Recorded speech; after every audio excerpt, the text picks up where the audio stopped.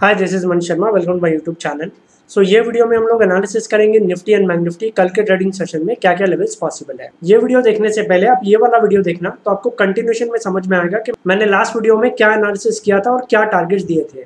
सो so, Nifty और bank Nifty दोनों में मैंने लास्ट वीडियो में बताया था कि अपसाइड मोमेंटम हमें देखने को मिल सकता है और मैंने आपको बैंक निफ्टी में 32,000, 32,500 तक के टारगेट दिए थे और निफ्टी में मैंने आपको बोला था 14,500, 14,600 ये लेवल्स हमें देखने को मिल सकते हैं। और मैंने आपको लास्ट वीडियो में ये भी बताया था कि बैंक निफ्टी काफ़ी ज़्यादा स्ट्रॉन्ग है एज कंपेयर टू निफ्टी अगर आप मेरा टेलीग्राम चैनल का मैसेज देखो मैंने 925 को ट्रेड दिया था बैंक निफ्टी में पुट सेल 31,500 का पुट मैंने सेल दिया था 550 में 610 का मैंने स्टॉप लॉस दिया था 450, 400 और 350 ये मैंने टारगेट दिया था।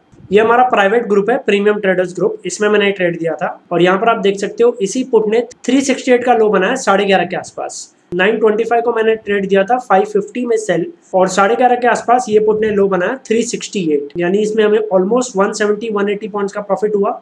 काफ़ी अच्छा इंटरडे में पैसा आया। और उसके बाद सेकंड हाफ़ में बैंक निफ्टी वॉलेटाइल हो गया। अब हम लोग डिस्कस करते हैं कल के सेशन में क्या क्या लेवल्स पॉसिबल है। ये बैंक निफ्टी का डेली चार्ट है। और लगातार मैं पिछले सात आठ दिन से यही आपको कंसेप्ट बता रहा हूँ।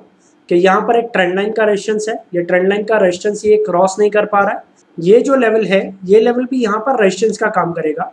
सो so, यहाँ पर मल्टीपल रेजिस्टेंस है 32,000 32,500 के आसपास। अगर आप देखो फ्राइडे को बैंक निफ्टी ने ये ट्रेंड लाइन का रेजिस्टेंस तोड़ने की कोशिश की थी लेकिन उसके बाद सेकंड हाफ़ में हमें एग्रेसिवली फॉल देखने को मिला। 32,000 के ऊपर सस्टेन नहीं हुआ बैंक निफ्टी और हाई के लेवल से हमें 400-500 पॉइंट का फॉल हमें देखने को मिला सेकंड हाफ़ में। एग्रेसिव सेलिंग हमें सेकंड हाफ़ में देखने को मिली फ्राइडे को और इसने जो क्लोजिंग दिया है वो ट्रेंड लाइन के नीचे ही क्लोजिंग दिया है। यहाँ पर आप ध्यान से देख सकते हो। तो जब तक ये ट्रेंड लाइन रेशन क्रॉस नहीं करता तब तक बैंक निफ्टी में व्यू बेरिश ही होगा क्योंकि आप देख सकते हो यहाँ पर एक डाउनवर्ड चैनल में ट्रेड कर रही है। आई होप आपको अभी काफ़ी बेटर तरीके से दिख रहा होगा काफ़ी बेटर तरीके से समझ में आ रहा होगा। ये डाउनवर्ड चैनल में ट्रेड कर रहा है। अपसाइड जो था 32,000 के आसपास अपसाइड ऑफ़ द चैनल इसने टेस्ट किया फिर वापस वहाँ से हमें फॉल देखने को मिला।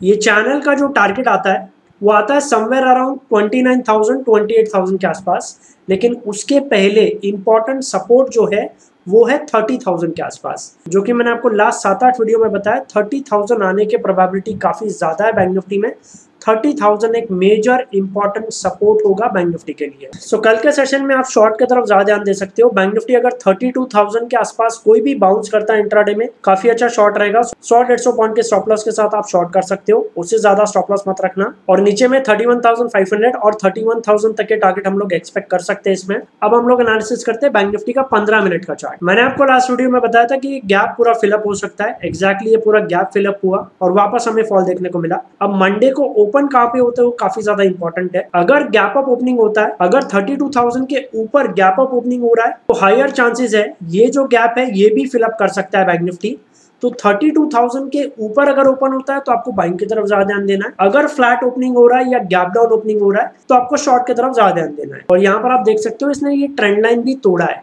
इसलिए मैं आपको बोल रहा हूँ कि शॉर्ट की तरफ़ ज़्यादा ध्यान देना है क्योंकि ट्रेंड लाइन भी इसने तोड़ दिया है। और फ्राइडे को क्लोजिंग जो है ये ट्रेंड लाइन के नीचे ही क्लोज हुआ है और वो भी बेरिश पैटर्न के साथ में क्लोज हुआ है।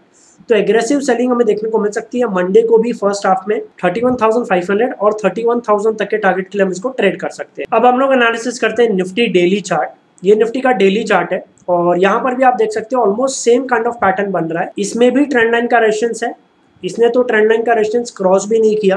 बैंक निफ्टी ने एटलीस्ट ट्रेंड लाइन का रेजिस्टेंस क्रॉस किया था लेकिन निफ्टी ने ट्रेंड लाइन का रेजिस्टेंस भी क्रॉस नहीं किया। 14,500 के लेवल को भी ये टच नहीं कर पाया और उससे पहले हमें फॉल देखने को मिला है।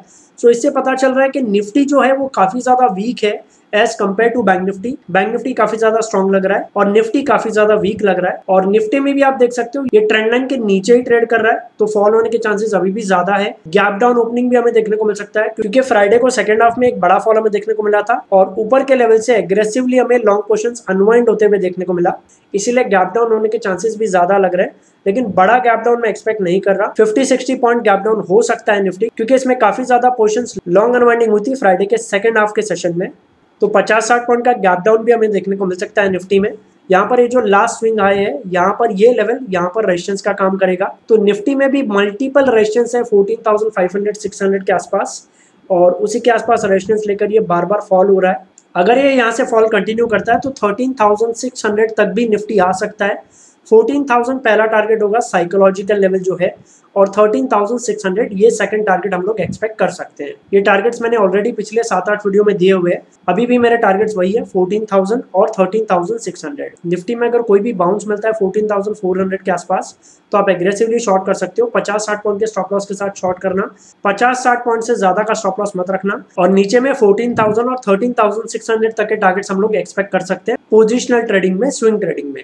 अब हम लोग इसका 15 मिनट का चार्ट भी एनालिसिस करते हैं। निफ्टी ने एग्जैक्टली एक गैप फिलअप किया है। आप देख सकते हो ये जो गैप पेंडिंग था ये फिलअप किया है। यहाँ पर ये गैप अभी भी पेंडिंग है। अगर ये गैप अप ओपनिंग होता है लेट से 14,500 के अगर ऊपर ओपनिंग होता है तो हमें इसे शॉर्ट नहीं करना है। तो हायर चांसेस है ये ये भी फिलअप कर सकता है। तो 14,500 के ऊपर अगर ओपनिंग होता है तो हम लोग इसको शॉर्ट बिल्कुल भी नहीं करेंगे। लेकिन फ्लैट ओपनिंग होता है या गैप डाउन ओपनिंग होता है पचास साठ पॉइंट तो हम लोग इसको एग्रेसिवली शॉर्ट कर सकते हैं। फिर ये लेवल भी ब्रेक कर सकता है 14,270 का और 14,200 का जो लो था प्रीवियस लो ये लेवल भी ब्रेक कर सकता है। सो फ्लैट ओपनिंग या गैप डाउन ओपनिंग होता है तो हम लोग इसको शॉर्ट करेंगे। अगर 14,500 के ऊपर गैप अप ओपनिंग हो रहा है तो हम लोग इसको शॉर्ट नहीं करेंगे। और अगर बहुत बड़ा गैप डाउन हो रहा है डेढ़ सौ पॉइंट का निफ्टी में गैप डाउन हो रहा है तो हम लोग प्राइस एक्शन का वेट करके फिर ट्रेड करेंगे। अगर कुछ भी लाइव मार्केट में चेंजेस होगा लेवल्स में तो मैं आपको टेलीग्राम चैनल में अपडेट कर दूँगा।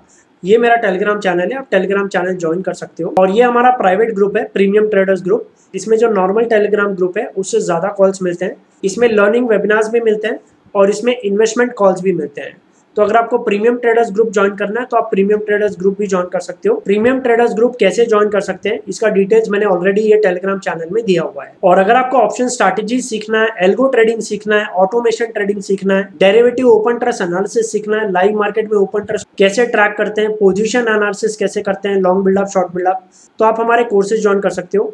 ऑप्शंस के कोर्स में काफ़ी सारी स्ट्रैटेजीज मैंने कवर की है और डेरिवेटिव ओपन ट्रस्ट का जो कोर्स है, इसमें मैंने लाइव मार्केट में ओपन ट्रस्ट डेटा कैसे एनालिसिस करना है वो सिखाया है। एल्गो ट्रेडिंग में मैंने ऑटोमेशन करना सिखाया है कि अगर आपको कोई स्ट्रैटेजी आती है तो आप उसको ऑटोमेशन कैसे कर सकते हो। तो इसका भी लिंक मैंने वीडियो के डिस्क्रिप्शन बॉक्स में दिया हुआ है और मोबाइल ऐप का भी लिंक मैंने वीडियो के डिस्क्रिप्शन बॉक्स में दिया हुआ है। अगर आपको वीडियो और एनालिसिस अच्छा लगा तो वीडियो को लाइक एंड शेयर ज़रूर करना। Thanks lot for watching the video see in the next video